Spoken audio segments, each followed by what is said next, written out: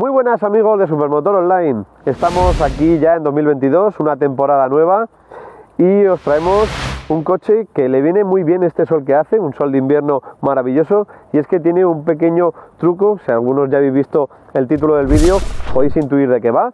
Es un coche con placas solares. Eh, novedad, postureo, lo iremos viendo a lo largo de, este vídeo, de esta prueba, pero bueno, tenemos nueva generación con un diseño renovado, un interior también que ha sufrido bastantes cambios y una motorización que es plug-in, es decir, que es un híbrido enchufable y además de estar apoyado por las placas. Así que nada, vamos a empezar.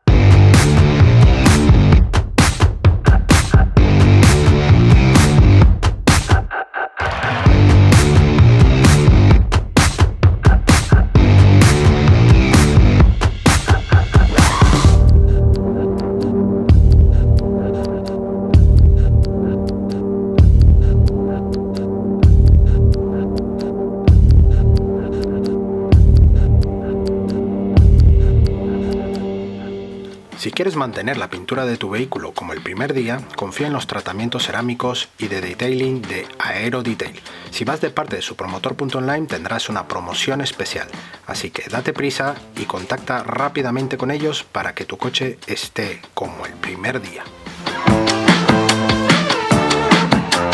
Como siempre vamos a empezar el análisis de este coche por la parte exterior y más concretamente por el frontal. Un frontal que aunque conserva las proporciones y las formas que tienen las generaciones anteriores del Prius, ha ganado en deportividad, ha ganado en agresividad y ha ganado también en un estilo más conservador, mm, teniendo unos límites, porque sabemos que el Prius siempre va un pasito más allá, pero sí es cierto que es un morro que sí podría tener un compacto deportivo japonés perfectamente. Tenemos un capó, como siempre, bastante cortito, muy inclinado hacia, hacia abajo para conseguir una carga aerodinámica eh, óptima.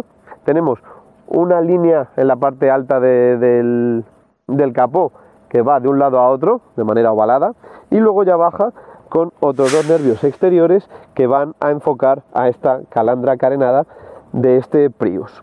Más abajo tenemos unas ópticas mucho más horizontales que en cualquier eh, generación anterior, muy estilizadas, muy agresivas, con tecnología full LED. Y luego como apoyo óptico tenemos también estas, estas líneas ópticas donde tenemos tanto el LED diurno como las, los intermitentes, incluso las antinieblas aquí incrustadas, y esta línea que también veremos detrás nos recuerda un poquito también, es un homenaje a generaciones anteriores. Con este color azul combina bastante bien toda la calandra en negro piano y una especie de, de símil de entrada de aire que tiene, para luego terminar con un plástico negro a modo de spoiler delantero en la parte central. En el centro de la calandra, como siempre, tendremos el logotipo de la marca sombreado en azul para darle esa estética híbrida al coche. Y aquí tenéis un lateral que nos recuerda muchísimo a generaciones anteriores. Esto es la parte más conservadora del coche. Como veis, la gran seña de identidad del Prius siempre ha sido esta forma en la que el techo se eleva rápidamente para luego desde el pilar B empezar a caer de manera continuada hasta la zaga y lo seguimos viendo. Solo con ver las ventanas, la forma del techo, ya podemos intuir que es un Prius pese a que todo lo demás cambiara. Más abajo tenemos pocas líneas de tensión, de hecho en la parte delantera de la puerta no tenemos más que la parte inferior aquí, pero toda la puerta es bastante lisa y en cambio nada más empezar la puerta trasera tenemos esta línea de cintura que sube hasta enlazar con las ópticas traseras. Además juega un doble juego de, concavidad y convexidad con la maneta trasera para darle también un diseño más potente a la zaga ya que la, parte delantera es bastante más fina y es destacable estas ruedas bastante pequeñas pero lo, lo, importante aquí es la eficiencia tenemos 15 pulgadas y 195 de ancho y como veis pues hay bastante contraste entre el tamaño de la rueda y todo el espacio toda la superficie que tenemos de coche en esta parte superior. Uy. Si te gusta este Toyota Prius y quieres conocer el precio más competitivo de seguro, puedes clicar aquí en nuestro enlace de Rastreator para buscar el mejor precio y el más competitivo. Seguimos con el vídeo. Y acabamos el análisis estético por la parte trasera, una parte trasera que recibe numerosos cambios. Eh, para empezar, bueno, la, caída del techo se produce con una luneta que tiene una concavidad en la parte central y enlaza con la parte alta de este, digamos, spoiler de este diseño comeback típico de Toyota. Y otro rasgo característico de la época que vivimos son las ópticas unidas por la parte superior de este spoiler para hacer una sola óptica gigante, por lo menos aparentemente. Luego la luz de freno la encontramos en la parte central únicamente. Y los, los, faros, la, parte de posición en forma de boomerang. También, al igual que las ópticas delanteras, tenemos un lateral bastante prolongado de, este, de esta óptica para tener la, la zona reflectante. En la parte inferior, pues tenemos un paragolpe bastante sencillo. También similar a la parte delantera, con este detalle lateral donde tenemos los intermitentes, antinieblas y reflectantes. Y luego una zona bastante plana con este acabado bicolor, una parte inferior en plástico negro y luego la zona de este color agua marina tan característico y no tenemos ni tubo de escape a la vista ni nada. Así que bastante sencillo. Otro detallito típico también del Prius pues sería que tenemos doble acristalamiento. Tenemos la parte de la luneta y luego una parte inferior que veremos que en el interior lo agradeceremos cuando miremos al retrovisor. Pues empezamos el interior por el maletero. Maletero de accionamiento manual, no pesa apenas. Y aquí tenemos el maletero. Tenemos una bandeja corrediza. Y aquí veis un espacio bastante reducido. Al ser el híbrido enchufable requiere de una batería más grande y por lo tanto se come mucho espacio del piso, pasamos de 500 litros a 354. Es bastante notable y ahora mismo por capacidad tiene más capacidad de maletero un Seat Ibiza. Y además la altura que tenemos libre, como veis, es muy poco, así que mm, nos cabrían objetos no muy voluminosos. Luego el ancho de carga es bueno, la altura de carga también, pero sí que estamos un poquito limitados. Es un coche muy cómodo para cuatro personas, pero no es así en cuanto a maletero. Como veis, formas regulares, vemos que sube bastante. Aquí tenemos una tapita donde guardar los cables de carga, aunque sí es verdad que si llevamos los dos, solo nos cabrá uno, el otro lo tendremos que o dejar en casa o tenerlo en el maletero ahí a la vista. Y poco más, tenemos una iluminación LED en la parte derecha y un par de ganchitos laterales, uno a cada lado, para cargar bolsas y que no se nos muevan tanto.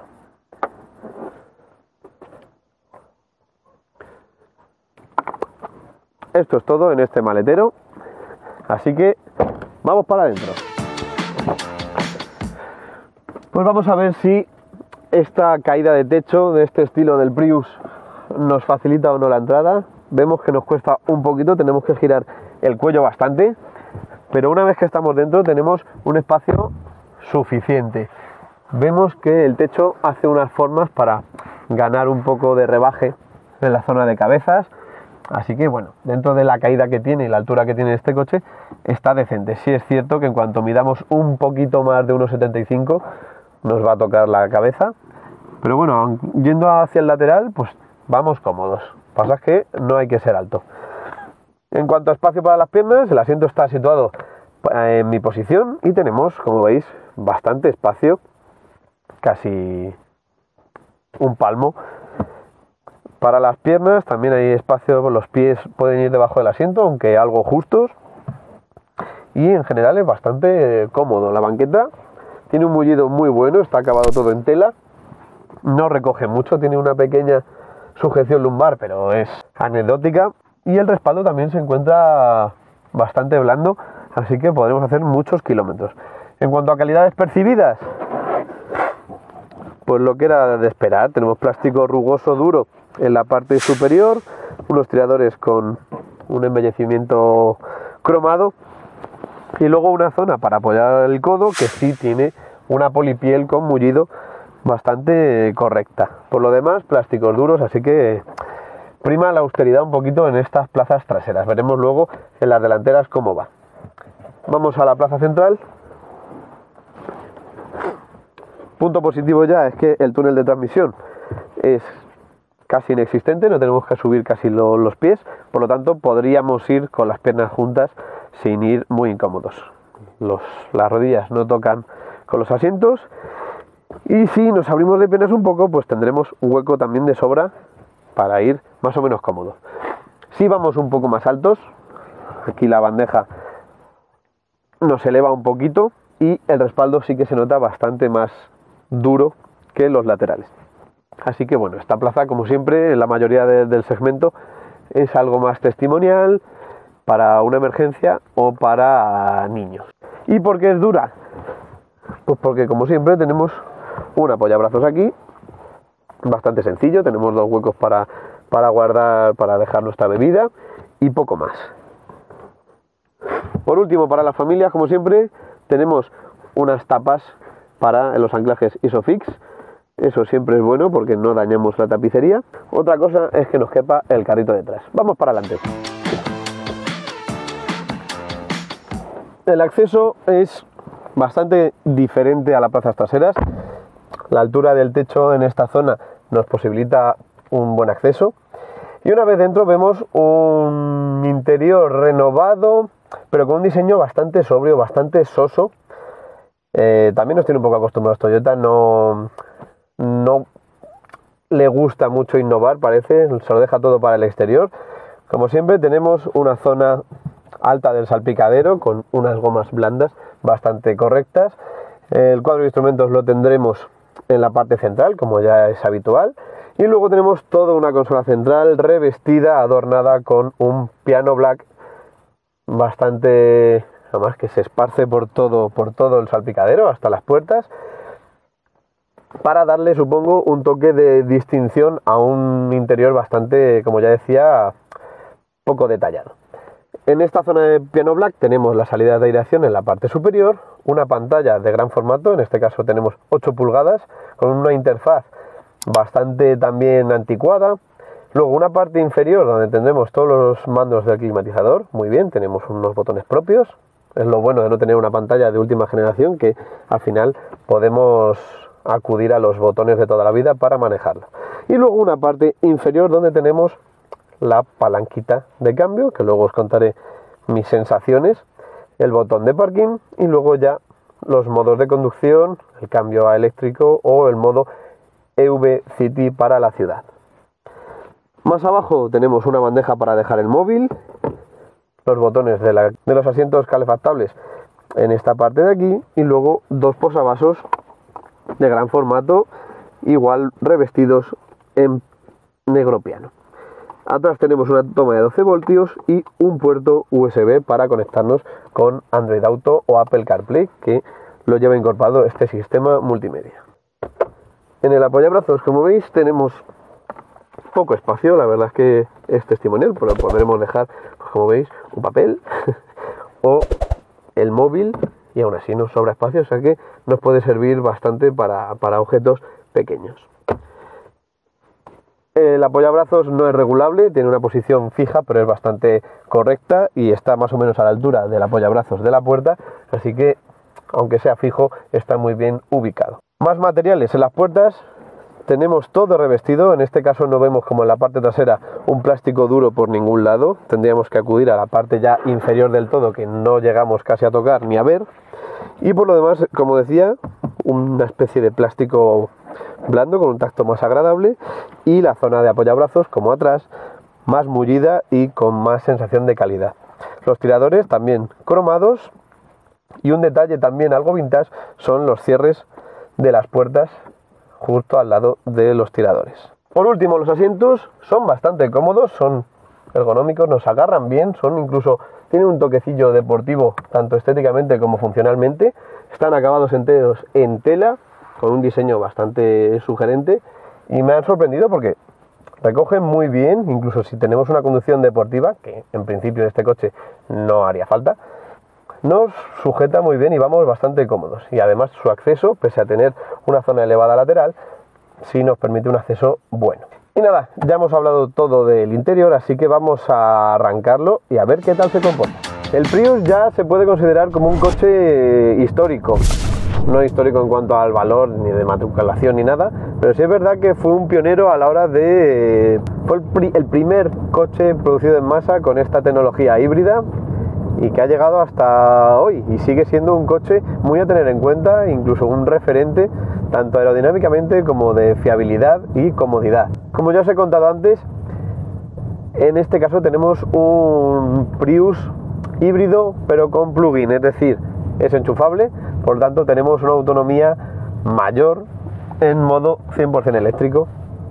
Podremos hacer en torno a 40-50 kilómetros en modo 100% eléctrico, tenemos etiqueta cero y cuenta con un motor térmico de 1.8 y un poquito menos de 100 caballos combinado con un eléctrico para que en conjunto declaren 122 caballos. Es un motor con fuerza, pero está asociado a una caja CVT ya conocida tipo tipo variador que bueno, a la hora de, de, sentir esa, esa potencia que, declara la ficha técnica, pues se queda un poco corta porque revoluciona mucho sin tener una respuesta real de, movimiento del coche, pero que para ir tranquilos y para el uso que está pensado este coche va de maravilla. Luego en modo de conducción pues tenemos tres opciones. Tenemos el modo normal, el modo, el modo power, power en el que pues responde mejor, el térmico entra antes, es un poquito más picante, digamos. Y luego también, por último, tenemos el modo eco en el que va a intentar siempre usar las baterías y si no tiene carga suficiente va a intentar cargarlas para que lo puedas usar. Además tenemos dos botones rápidos en el que cambias de térmico a eléctrico al gusto y un modo EV City más pensado para la ciudad. Y además en la palanca tenemos la posibilidad de activar el regenerador que es poniendo la palanca en B en el que digamos que tendremos el sistema one pedal en el que el coche va a frenar mucho en cuanto dejemos de acelerar y probablemente no en ciudad no nos haga falta usar casi el pedal del freno. En la pantalla de arriba, que en realidad son dos pantallas de 4 pulgadas cada una, contamos con un esquema, un visualizador para ver eh, el esquema del coche para ver de dónde está viniendo la fuerza y qué se está cargando.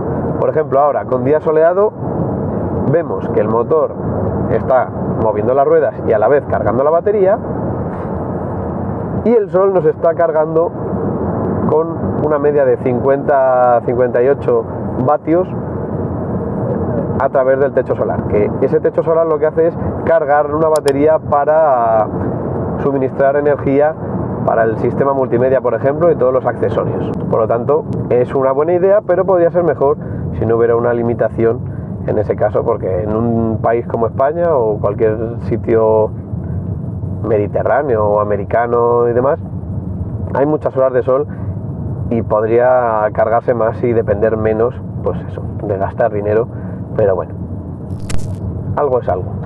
La verdad es que la respuesta que tiene es muy buena. Sí es verdad que no es un coche creado para, correr, pero la combinación de ambos motores, cuando ya oímos el ronroneo del térmico, al final entrega buena potencia, es un 1.8 de 4 cilindros y la realidad es esa, que, que, tiene fuerza de sobra, aunque no vayamos del todo a gusto a la hora de correr, porque es un coche silencioso, cómodo, confortable, y en cuanto oímos el motor ahí revolucionado parece que está sufriendo, aunque pueda estirar mucho, pero se va mucho mejor en este coche si vamos en modo tranquilo con total silencio. También me ha sorprendido mucho la suspensión. La suspensión se traga los baches que da gusto. Yo diría que lleva mejor suspensión que muchos subs del mercado ahora mismo a la hora de pasar badenes que normalmente tenemos que hacer por frenar más para que no sea desagradable y este se los zampa que da gusto va muy muy bien si es cierto que luego a la hora de hacer unas curvas rápidas pues vamos a notar mucho balanceo, pero como os digo, no está pensado para eso y sí para tener muchos bordillos, muchos resaltos y en general necesita una suspensión blanda. También me ha gustado el pedal de freno, concreto más. Normalmente en los coches eléctricos el pedal de freno es poco intuitivo, es muy artificial. la pisada que tenemos no se corresponde con lo que queremos hacer, cómo responde el coche. Y creo que este es uno de los coches que mejor lo han logrado a la hora de frenar. Ni en el modo B el coche se frena de manera extraña. Si es cierto que retiene más o menos, pero es orgánico, ese accionamiento se hace de manera lógica. Y yo ahora a la hora de entrar en una curva yo freno y siento poco retardo, que es lo que más se diferencia del accionamiento de un freno normal actual, claro. Noto que es un poquito más real pese a que esa frenada está cargando una batería. Obviamente no va a ser igual, pero sí que es verdad que se, intuye un poquito más natural. En cuanto a la posición de conducción, no hay pegas tampoco, tenemos mucha superficie acristalada, como veis se ve muy bien, eso da una sensación de amplitud muy buena. Para los claustrofóbicos esto es una maravilla. Y tanto el ajuste del volante como el del asiento es muy bueno, así que podremos encontrar nuestra posición de manera rápida y cómoda sin, sin sentir que, no nos encontramos del todo. Así que como balance podría decir que me gusta el Prius, además en diseño creo que ha ganado, sigue siendo un coche extraño de, de, ver y muy diferente a lo que se ve hoy en día en el mercado y lo que se veía hace 20 años. Pero sí es cierto que le han dado unos toques más convencionales y yo creo que más acertados y deportivos, que al final es lo que llama la atención de una estética, o la elegancia o la deportividad. Y creo que han optado por un coche un poquito más agresivo y además con esta posibilidad de, enchufarlo y de tener unos 50 kilómetros de autonomía eléctrica que para el que tenga un enchufe es otro mundo para ir a trabajar o para hacer viajes con puntos de recarga. Está bastante bien. La pega, los interiores. Para un coche tan futurista, con un diseño tan arriesgado, el interior no me dice nada. Me parece que voy en un monovolumen de hace 10 años, con la pantalla desactualizada, desubicada. Las calidades, pese a no ser peores que sus rivales, tienen un diseño que no, no favorece, no, no ayuda a pensar que estamos en el coche referencia de los híbridos desde hace 20 años. Pero en general es un coche bueno con un precio que oscila entre los 33 y los 37 mil euros y muy a tener en cuenta porque sigue siendo calidad Toyota y fiabilidad Toyota. Bueno, pues hasta aquí la prueba de este Toyota Prius Plug-in acabado Solar o Solar. Eh, un coche que parte, el, el acabado plug-in, desde 33.000 euros y que asciende hasta los 37.000 de este acabado. Un coche, como ya conocemos, eh, innovador, transgresor en cuanto a diseño y que ya ha cumplido más de 20 años, ya no es una novedad tener un híbrido y se han asentado más que de sobra. Puede que este coche ya no sea la gran novedad que teníamos hace 20 años, pero sigue actualizándose y generación tras generación se va adaptando tanto en diseño como en tecnología a los cánones actuales. Así que nada, es un coche lógico para la ciudad y además con esta posibilidad de cargarlo, si tenemos enchufe, nos da ese plus de, economía familiar y de, y de suavidad también a la hora de conducirlo que antes no tenía. Así que nada, eh, muchas gracias a Toyota España por cedernos este Prius y a vosotros no olvidéis seguirnos en nuestro canal de Supermotor Online, activar la campanita para recibir las notificaciones y encontraréis la prueba escrita de este coche y otros más y también motos en el blog de supermotor.online. También os encontraréis en todas nuestras redes sociales como Facebook, Instagram o Twitter. Así que nada, muchas gracias por su atención y nos vemos en la próxima prueba. Hasta pronto.